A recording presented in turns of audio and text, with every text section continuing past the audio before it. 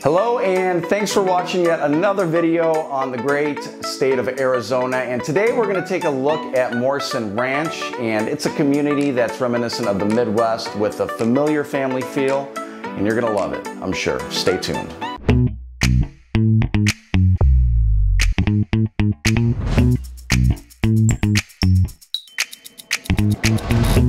My name's Ryan Meeks. Be sure to subscribe if you have not already. And if you're looking to move to Arizona, you think you might want to work with a guy like me, feel free to call me right now. Yep, right now. Feel free to text, email, whatever works for you. Get in touch with me and I can show you around. So Morrison Ranch is a 3,000 acre master planned community located in Northeast Gilbert, like I said. And one thing you'll immediately recognize when you drive through Morrison Ranch from a busier street is the white fence and the abundance of tree-lined streets. This community probably holds the record for the amount of trees and shade in Arizona. You'll also notice that the streets are actually straight, unlike other subdivisions and master plan communities within Arizona. And there's an abundance of grass too. If you took a picture and sent it to your grandma, she would not think that you are in Arizona. The Midwest vibe is what they were going for with this community. The sidewalks are set back a bit and on some streets there's even an island with more trees running down the streets. It definitely gives it that Midwest feel that's a little bit different than any other community in Arizona. So there are a few different communities that are actually within Morrison Ranch and I recorded a few snippets from each of them. So let me go through and show you the community. Higley Groves is the oldest part of the community and there's a Higley Groves East and a Higley Groves West. Higley Groves West is located north of Elliott and west of Higley. Higley Groves West has some really nice one-story homes and has one park called Windmill Park with some green space and another spot across the street with some green space as well. Of course, there's plenty of trees if you want to enjoy a picnic in the shade. At the end of the western cul-de-sacs sits a trail which runs up into the Riparian Preserve north and south to Riggs Road. It also connects to the Western Power Line Trail so you can take it to multiple parks and even to downtown Gilbert, which is only about three and a half miles away. Now that makes for some pretty good hikes or a morning run or an easy commute on the bike for dinner at one of the awesome downtown restaurants. The trail also takes you all the way to Cactus Yards. We'll touch on that in a few. The homes in this area can range from the 400s all the way up over the $1 million mark. You'll notice a lot of single stories with over 4,000 square feet and a really cool courtyard upon entering the home. One of my favorite features if you've seen any of my other videos. You absolutely have to check out this neighborhood. It's one of my favorites in Morrison Ranch because it's a mature neighborhood. To the east of Higley Groves West is Higley Groves East. Who'd have thought? The staple of this community is a large green belt which runs down the center and features the Lexington Court Playground. And this features a playground along with a basketball court and plenty of green space. The park is connected to all the other streets with a sidewalk trail system for easy access. Being in the center of the neighborhood, it really encourages the residents to come together and get to know one another. And you'll see this throughout Morrison Ranch. One thing I do have to say about this neighborhood is that when I drove down it, I got a good welcome home feeling. And I don't get that from just any other neighborhood.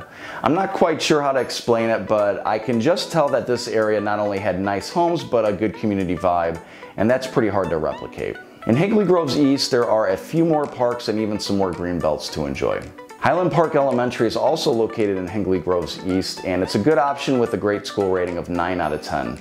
So you can be sure that when you relocate, your little one is definitely going to get a great education if they choose the community school. Just east of this is Holiday Farms, which is another subdivision that somehow snuck its way in there. But if you skip over this subdivision, you'll run into Morrison Ranch's Highland Groves neighborhood. This neighborhood has homes that were built in 06, 07, and 08, just before the crash. This part of the neighborhood has a green space for its central meeting location, but also has two catch and release ponds. On the day I visited it, there were about 10 people on the southern lake fishing and hanging out, and that's where you got to witness me crashing and breaking my new beloved drone. Yeah, that was unfortunate.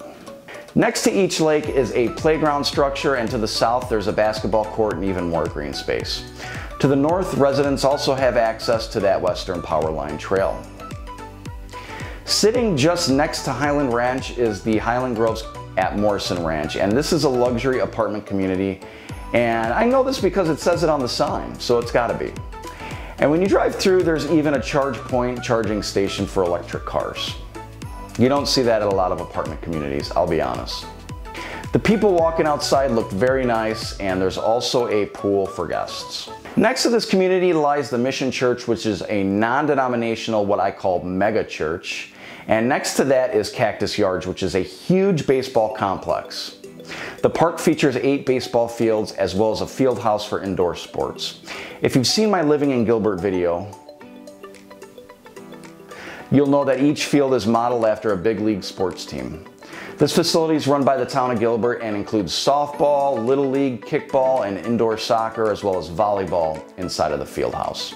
Just south of Highland Ranch is Elliott Groves, which is another community within Morrison Ranch. And don't worry, we have a few more to go. Once again, like the other communities, there's a central greenbelt with two parks and a few pavilions. The homes here were built in 2013 to 2017 and it's a pretty mature neighborhood already. These trees grow pretty fast. Each one of the parks features a basketball court as well. To the west is Lakeview Trails. This area is kind of separated with more of a mature northern section just behind the town center, which I'll talk about in a second. The homes here were built in 2008 and 2011, and you'll notice a lot of these neighborhoods don't have homes that were built in 2009. Wonder why? This is such a great family friendly area. You can see people fishing at the main lake on any given day or walking down the trail that leads into the town center. And I even had a group of teens walk up and ask if I was a YouTuber while I was recording. Howdy. They were very friendly, hey. polite, and just really good kids, hey. I could tell. Hey, yeah, I am. You're in it. I, I am. Lakeview Ranch has two green belts that span about a half mile from Elliott south to the main trail. Within these green belts, you can find four parks with playground structures and shade, along with two basketball courts and a sand volleyball court. This particular neighborhood has some new builds that are going up in the southern section of the square mile near the silos. These homes range from about 600,000 up to over a million dollars for the luxury Camelot brand builder. Yes, these homes are very nice. There are still homes available as of this recording, so if you're interested in checking it out, let me know. In the southern section of Lakeview Trails, there are parks and various green belts already established, but unfortunately you don't have the shade and mature trees which are prevalent in some of the 10-year-old communities. There's still plenty of land to be developed in Lakeview Trails, and it looks like it's probably going to be going on through at least 2022 with a lot of space to fill. West of Lakeview Trails and across Higley Road is Warner Groves. As you probably guessed, this just sits north of Warner and is bordered by Higley. This community, Warner Groves, has, you guessed it, a green belt in the middle of the neighborhood and a park to the north and south which have a playground, volleyball court, and a basketball court. Higley Estates is on the other side. This particular neighborhood is one of my favorites here and features some of the larger homes with larger lots. And they can range from 600,000 to 900,000 and probably up over a million. And this is right on Morrison Ranch Parkway, the main street. Some of these lots are huge at about 35,000 square feet. They were built in 2004 and 2005, so would, this would actually make this community the oldest in Morrison Ranch. The neighborhood has four green spaces and only one of them has a playground structure while the others are more for recreational activities like soccer or ultimate frisbee. So one of the coolest things about Morrison Ranch being a master plan community is they kind of have their own little town center and it is appropriately named Town Center. So if you want to get some grocery shopping done or get a bite to eat on a Friday night, you can go to the town center. So this place definitely feels like it was just made for the Morrison Ranch community. It's trimmed up with the white fence and the matching trees.